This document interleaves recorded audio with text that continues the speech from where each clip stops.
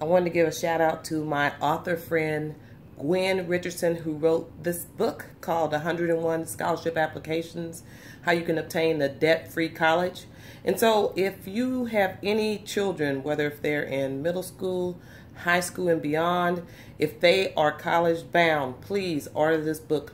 And you can go on Amazon.com and order it. And um, her daughter, Sylvia, has had a completely 100% um, paid college education, and she this is actually the 2017 updated edition.